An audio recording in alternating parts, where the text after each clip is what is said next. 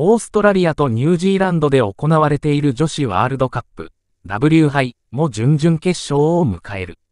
厚男、こと池田太監督率いるなでしこジャパン、日本女子代表はラウンド16で FIFA ランク1位のアメリカを PK 戦の末に破ってきたスウェーデンに挑む。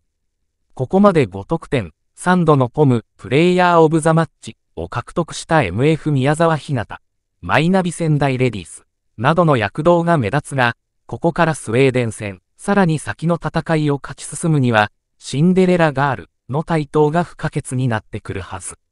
そうなり得る候補5人に注目した。文イコール川地義行、写真、美人姉妹杉、なでしこ清水梨沙、ドレスアップ、姉との並びが話題、同じ顔、富士の青葉、日テレ、東京ベルディベレーザ、現在19歳。第2戦のコスタリカ戦で、女子 W 杯におけるなでしこジャパンの最年少得点記録を打ち立てるなど、1得点2アシストを記録しているが、彼女のポテンシャルを考えれば、ここからのスーパーブレイクが夢ではない。ボールを持った時の推進力はチーム随一で、しかも周りの状況を瞬時に感じて、その時の最良のプレーを繰り出していけるのは大きな強みだ。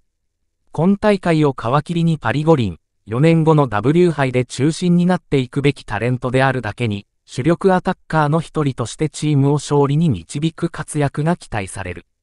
清家機構、三菱重工浦和レッズレディース、ザンビア戦とコスタリカ戦に途中出場して試合をクローズしたが、スペイン戦とラウンド16のノルウェー戦は不出場だった。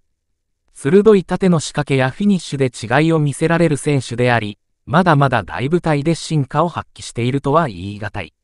左右サイドで攻撃的なプレーができ、ジョーカーとしての効果も大きい。2011年の優勝メンバーでもある大先輩の DF& 小杖からは、最後に美味しいところを持っていけばいい、とポジティブな声をかけてもらったという。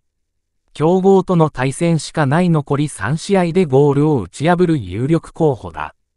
千葉レミナ、ジェフユナイテッド市原、千葉レディース、千葉の千葉が世界を驚かせるのはここからだ。池田監督が信頼を持って選んだという W 杯メンバーの中ではサプライズの一人だっただけに、ジョーカーとしての起用がメインになることは大会前から想定できた。しかし、ここまで出場はザンビア戦の後半アディショナルタイムだけで、本人もうずうずした気持ちがあるだろう。162センチメートルと小柄ではないが、重心の低いドリブルは独特で、スウェーデンのセンターバックをはじめ、大型のディフェンスには厄介な存在でしかない。しかもパンチ力のあるシュートを備えており、初見殺しの効果も絶大で、池田監督はここからの勝負に温存していたとも考えられる。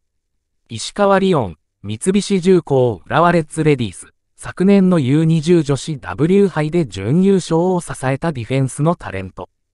172センチメートルのサイズに身体能力、勇敢なメンタリティで相手アタッカーに立ち向かえる。そのポテンシャルの高さはザンビアとの初戦で快速 FW バーバラバンダを止めたことでも証明したが、3バック右はコスタリカ戦で三宅しおり、アイナック神戸レオネッサ、スペイン戦とノルウェー戦は浦和の同僚でもある高橋花が起用されて、ベンチから見守る形となった。ノルウェー戦で池田監督は終盤の投入。